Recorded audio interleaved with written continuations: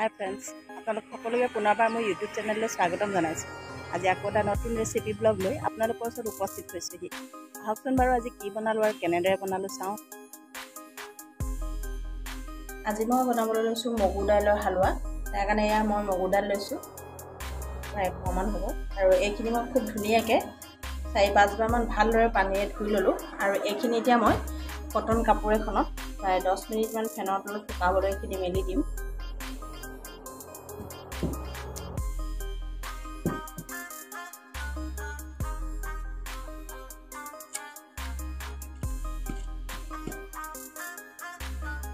ইয়াৰ যাতে অতিৰিক্ত পানীখিনি শুকাই যায় তাৰ কাৰণে এইখিনি মই মিনিটমান কাষত শুকাবলৈ খুব ধুনীয়াকৈ এইখিনি মেলি দিম।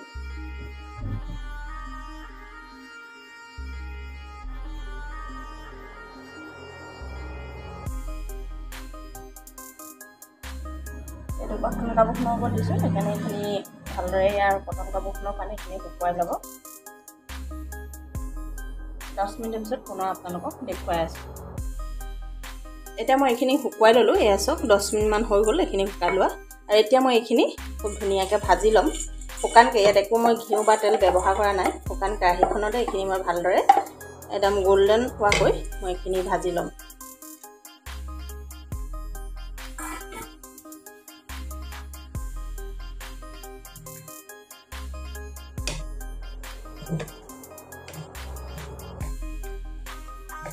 এইখিনি ভাজি ল'লে হালোৱাখিনি বনাওঁতে বহুত অসুবিধা নহয় তেতিয়া। আৰু যিখিনি ইয়াত অতিৰিক্ত পানী আছে মানে অকণমান সেমেকি থকা নিচিনা হৈ আছে সেইখিনিও খুব ধুনীয়াকৈ গুচি যাব।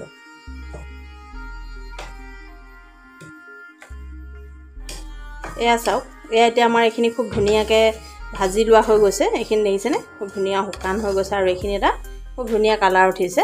আৰু এইখিনি একেৰাহে যিহেতু মই এইখিনি খুব ধুনীয়াকৈ লৰাই আছোঁ সেইকাৰণে এইখিনি জ্বলি মেলিও যোৱা নাই। আৰু এইখিনি এতিয়া মই গেছটো অফ কৰি দিম আৰু এইখিনি নমাই ল'ম আৰু এইখিনি অকণমান ঠাণ্ডা হ'বলৈ দি এইখিনি মই মিক্সিত মাৰি পাউডাৰ বনাই ল'ম। গুড়ি কৰি ল'ম মানে।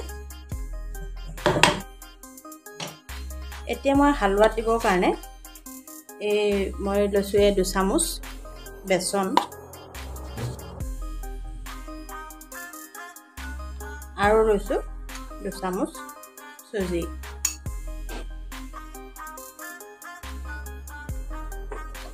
সেইখিনি মই ভালদৰে মিলাই ল'ম। আপোনালোকৰ ওচৰত যদি চুজি আৰু বেচন নাথাকে তেতিয়া নিদিলেও কোনো কথা নাই। চুজি নিদিলেও এনেই বেচনটো দিলে ভাল। বেচনটো খুব ধুনীয়া এটা গোন্ধ ওলায়।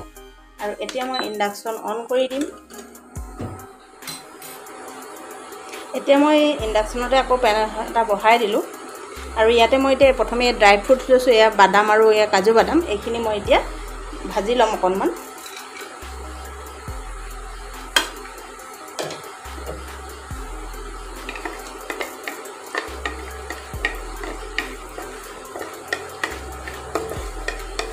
বেছি সময় নহয় প্ৰায় এক মানে চাৰি পাঁচ ছেকেণ্ডমান ভাজি ল'লেও হ'ব।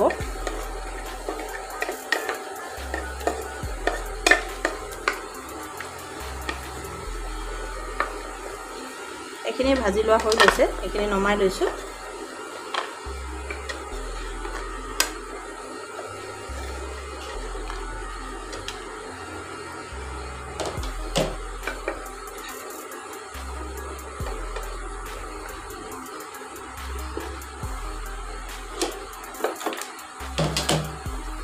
আৰু এতিয়া মই ইয়াতে দি দিম এই চুজি আৰু যিখিনি বেচন লৈছিলোঁ সেইখিনি মই ইয়াতে দি দিম। আৰু এইখিনি মই খুব ধুনীয়াকৈ ভাজি ল'ম।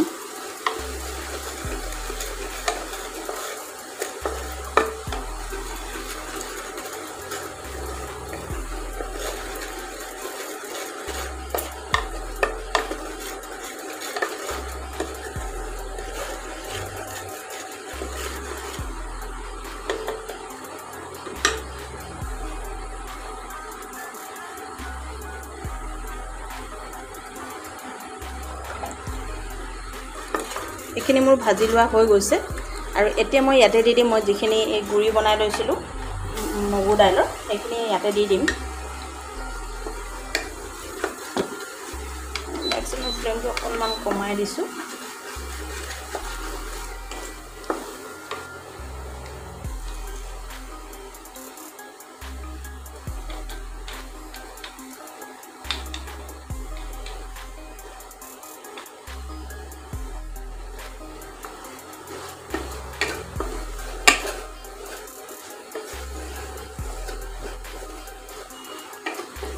এইখিনি ভালদৰে লৰাই ল'ম।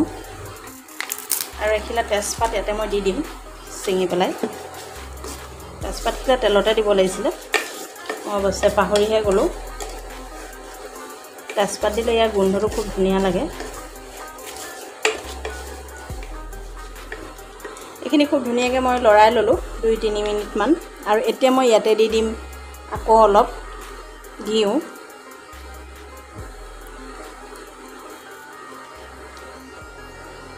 পিছত আমি আকৌ ঘিউ দিব পাৰোঁ। এতিয়া অকণমান দি দিছোঁ।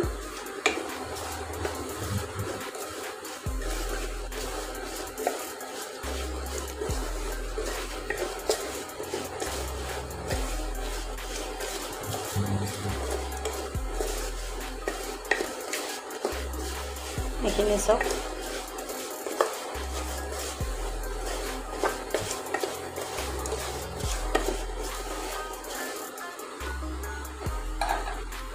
আৰু এতিয়া মই দি দিম ইয়াতে অকণমান পানী। প্ৰায় আধা কাপৰ জোখত মই ইয়াত পানী দিম।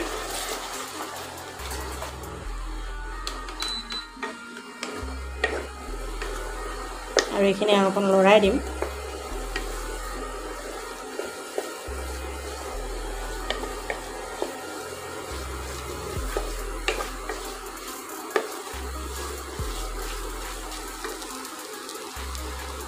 আৰু এতিয়া মই ইয়াতে দি দিম এই ড্ৰাই ফ্ৰুটছখিনি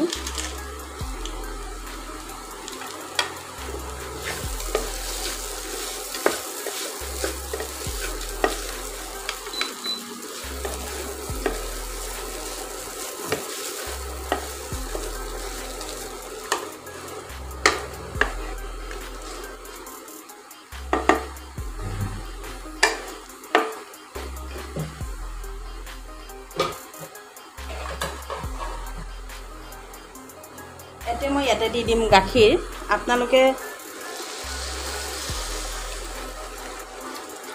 গাখীৰটো এটা জোখত ল'ব। মানে মই অলপ মই জুখিয়ে থোৱা আছিলে সেইকাৰণে মই ডাইৰেক্ট ঢালি দিছোঁ আৰু গাখীৰখিনি।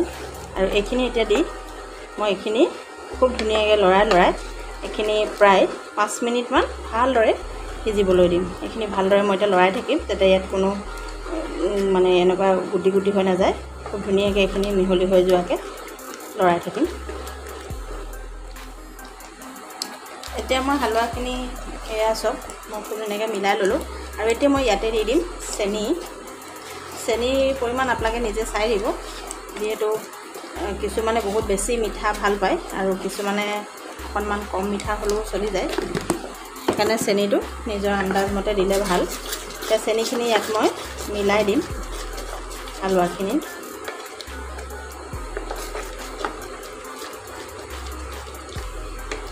আৰু এইখিনি এতিয়া গোটেই গাখীৰখিনি ভালদৰে ইয়াত একেবাৰে মানে এই শুকি ল'বলৈ দিম খুব ধুনীয়াকৈ শুকাই যাবলৈ দিম এইখিনি।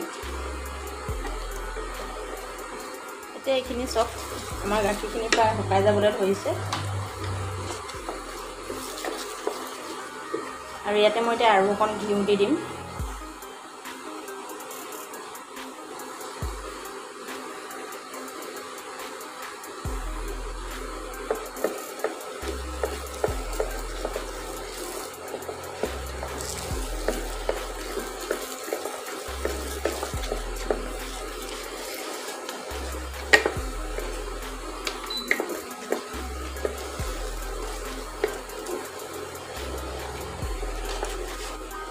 আৰু এইখিনি প্ৰায় এইদৰে লৰাই লৰাই দুইৰ পৰা তিনি মিনিট আকৌ মই এইখিনি ভাজি থাকিম।